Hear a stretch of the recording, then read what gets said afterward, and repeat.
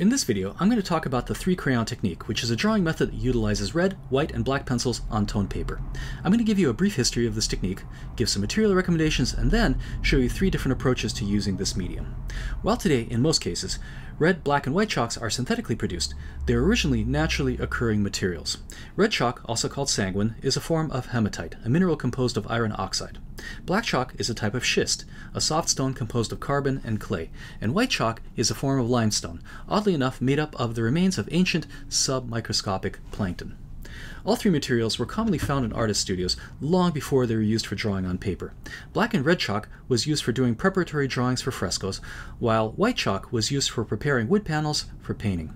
Their potential as drawing mediums was only exploited after the proliferation of papermaking in Europe. Paper, besides being far less expensive than parchment, also has the advantage of having a rougher, grippier surface that just worked better for dry media. Some of the earliest examples we have of the three crayon technique were done by Leonardo da Vinci. We also have a few drawings by Michelangelo, such as this stunning drawing. I think, though, the first artist to fully exploit the potential of the three crayon technique is the French painter Jean Clouet. In these wonderful portraits, you can see exactly what made the three crayon technique so popular. The mix of black, white, and red, combining with the underlaying color of the paper, creates skin tones with subtle color nuances such as warm reflected lights and delicate gray halftones. This technique, employing minimal means to maximum effect, tricks the eye into thinking it's seeing a full range of color, creating the illusion of living, breathing flesh. While the use of the three crayon technique in the 16th century seems to have been limited, by the 17th century its use was quite widespread, popularized by the artist Peter Paul Rubens. To my mind, it is with Rubens that this technique reaches its apotheosis. His ability to record the most delicate movements of color and value with an effortless lightness of touch is unparalleled. The illusion of having a full range of color is complete here, as is the incredibly sensitive shifts in texture, as subtle as anything he achieved in his paintings. The mastery of this medium is complete and unrivaled. While its use in other parts of Europe waned in the 18th century, the three crayon technique continued to be widely used in France. The painter Jean-Antoine Watteau, inspired by the drawings of Rubens, employed it with great delicacy, though in ways better suited to his more fragile sensibility. Where Rubens uses it to depict vivacity and strength, in Watteau's hands this sensitive, versatile medium is employed in the depiction of the fleeting and the poetic. There's something in Watteau's drawings that share a closer affinity to the atmospheric effects of oil painting than drawing. His superhuman ability to suggest details through the complex counterpoint of sharp, flickering strokes and soft blended passages in many ways anticipates the Impressionist movement.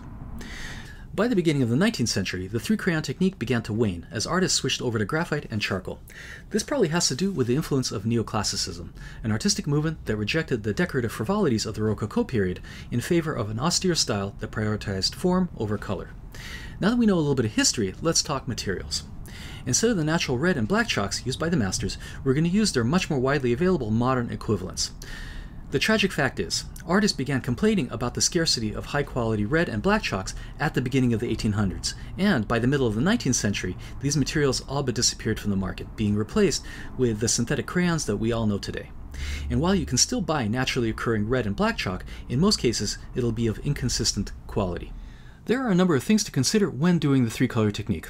First, let's talk about pencils. Most pencils, besides coming in a range of hardnesses, also fall somewhere on the continuum between oiliness and chalkiness depending on the type of binding material. For example, this Prismacolor pencil is considered very oily, whereas a pastel pencil made by Stabilo, such as this one, is on the chalkier side. This is a very important consideration because your choice of red, black, and white pencils should all have a similar consistency in terms of not only hardness, but oiliness. This is a red chalk pencil made by Conte, and it's quite chalky, but not quite as chalky as the pastel pencil. And it works quite well with the other Conte products, such as this white chalk pencil made by Conte and the Conte Pierre Noir. So you can see that they actually blend together quite effectively.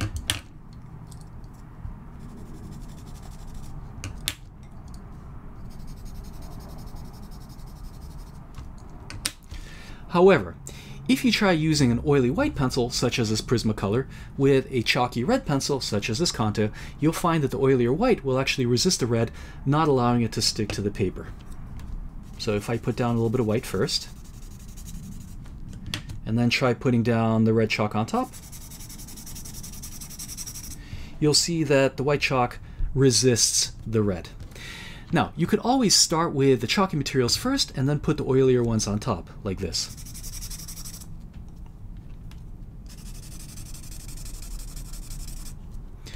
But I think it's to your advantage to choose materials that you can alternate at will without such technical limitations. Now let's talk about paper. First, paper texture is important. If you're using a chalkier material, such as Conte, I recommend paper with a bit of tooth to it, since chalky materials have difficulty sticking well to papers that are very smooth.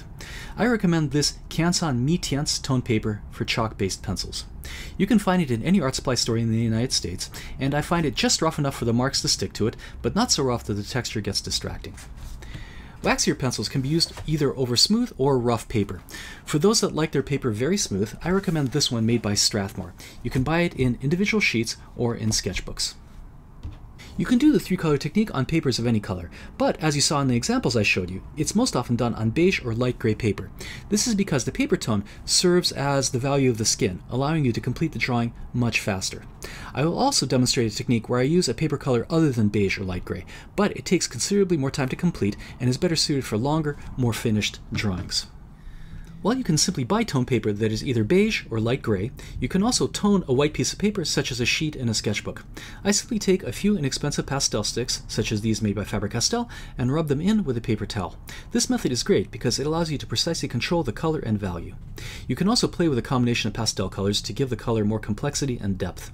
Generally, you want something that is light brown or gray, dark enough so that the white chalk stands out against it, but not so dark that the red chalk loses contrast. One of the advantages of using a warm paper is that the color contrast of it actually makes black look a little bit cooler, a little bit more blue. And this effect can be increased by adding white to the color. So you can see how the color is a little bit bluish, but now if I add white, the effect of adding white pigment cools off the color and creates something that's even bluer. So by playing with the transparency of the color and the opacity of the color, we can go from a black that's a little bit on the cooler side to something that looks almost blue. Which in effect creates an additional color that we can play with.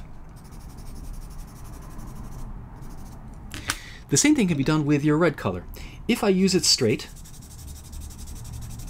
transparently, let me use a different stump here.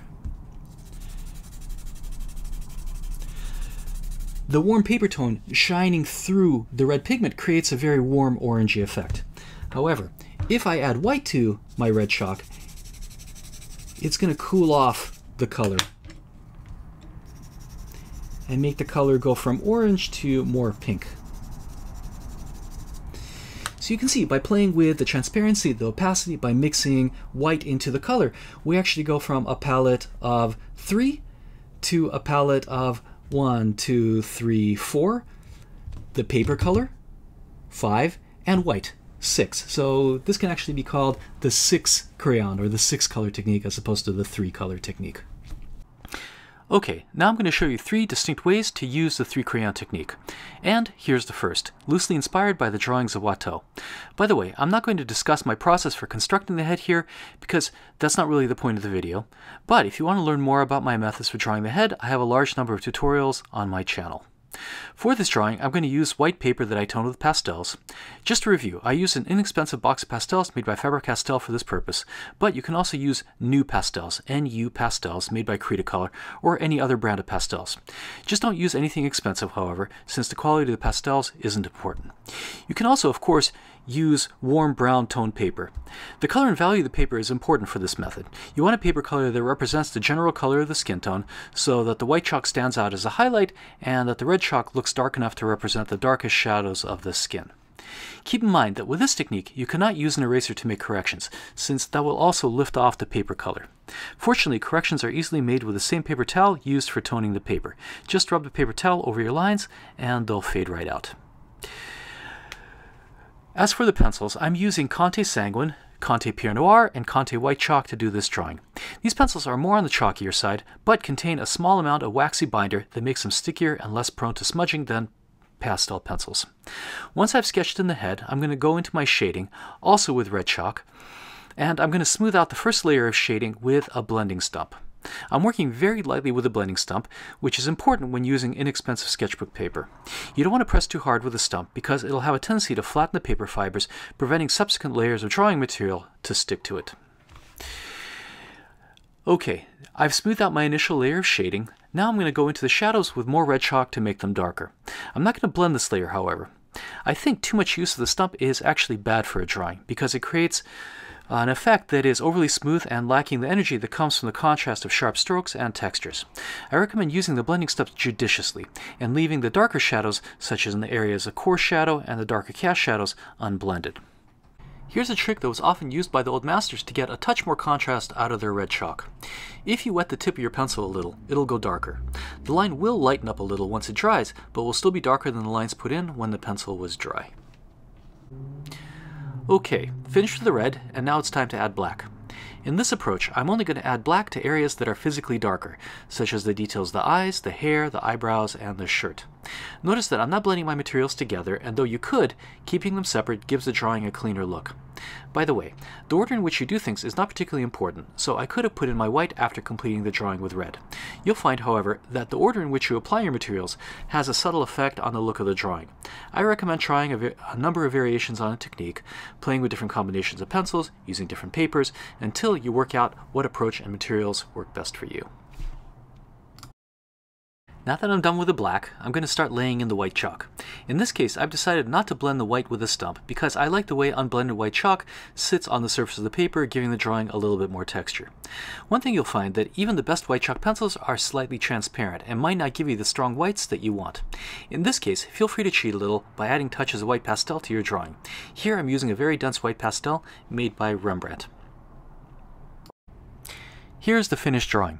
This approach to the three-color technique is excellent for quick sketches, allowing you to introduce a little color and life into your drawings. It's best when done with a light touch and not overworked. This next approach is inspired by some of the drawings of Rubens. This one is a little slower and perhaps better suited for more detailed work.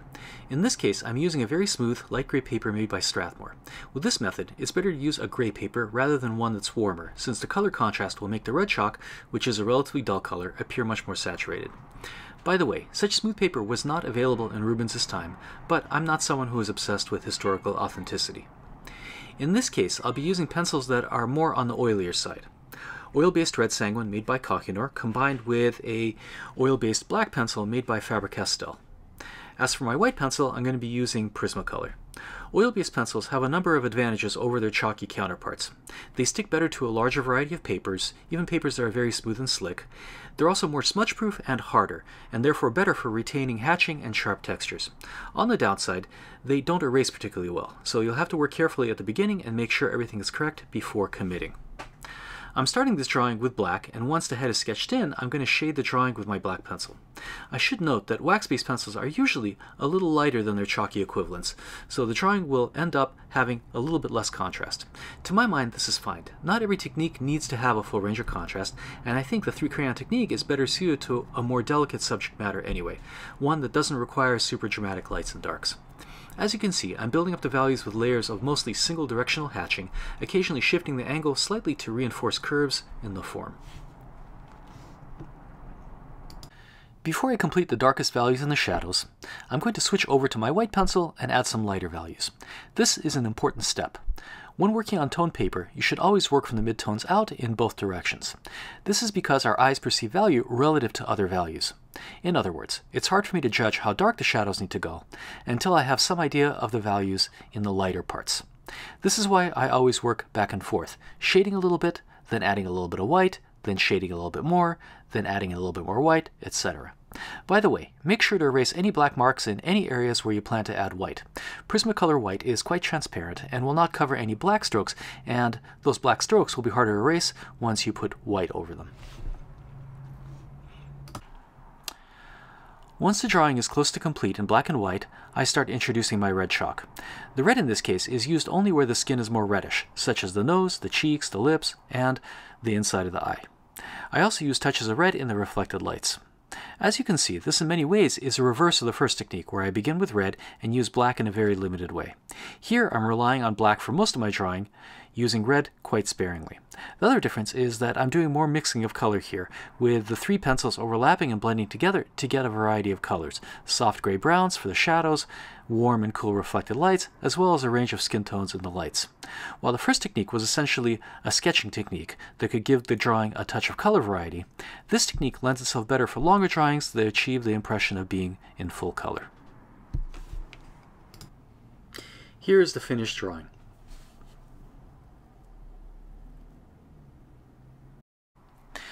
Now on to the last technique.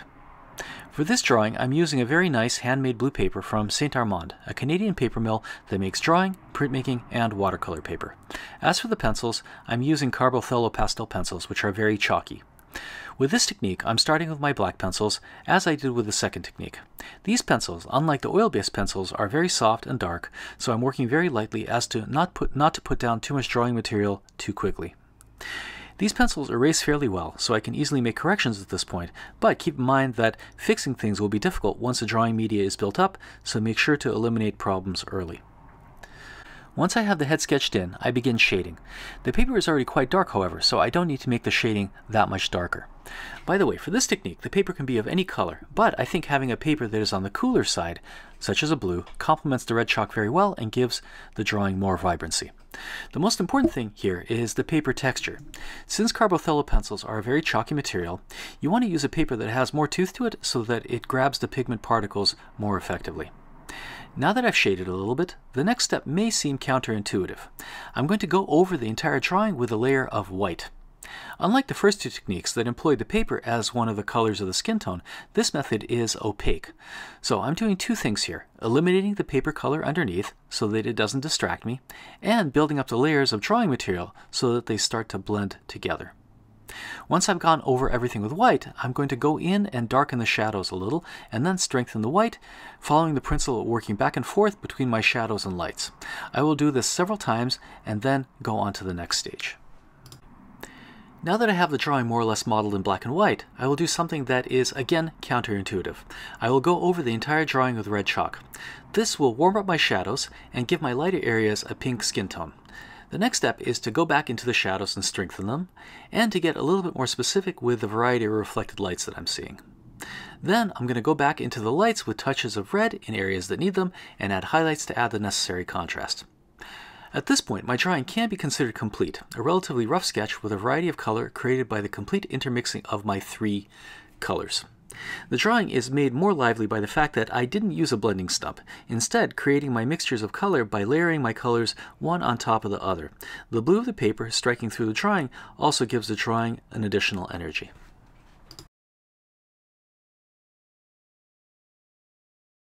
If I want to continue working on this drawing and create a more finished and smoother effect, I can go back in with a blending stump. Just be careful not to press down too hard with a stump, especially with a soft handmade paper such as this one, lest you flatten out the tooth, preventing additional layers of drawing material from adhering to the surface.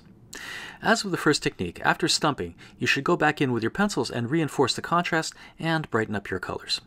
My advice is not to stump at all as you finish up the drawing. By leaving the highlights and the darkest darks unblended, you'll give the drawing more energy and impact. With this technique, I'm able to work and rework the drawing for much longer periods of time, creating all kinds of color nuances that start approaching some of the effects you can get in full color pastel or even in wet media like oil or acrylics. This is a fantastic approach for long finished drawings or for studies for full color paintings where you want to record color information without resorting to doing a full color sketch. Here is the finished drawing. I hope you enjoyed this introduction to the three-color technique. This long overlooked and forgotten medium, which until recently was considered antiquated, is making a comeback with a resurgence of interest in historical art-making practices. To my mind, it's a great gateway to working in full color, allowing you to develop a sensitivity to color temperature and the many ways skin color can shift from warm to cool. Most importantly, it's a fun and pretty way to draw, making for very lively and vivid drawings. Thanks for watching this video, and as always, if you have any questions or comments, leave them below and I'll be happy to respond spot.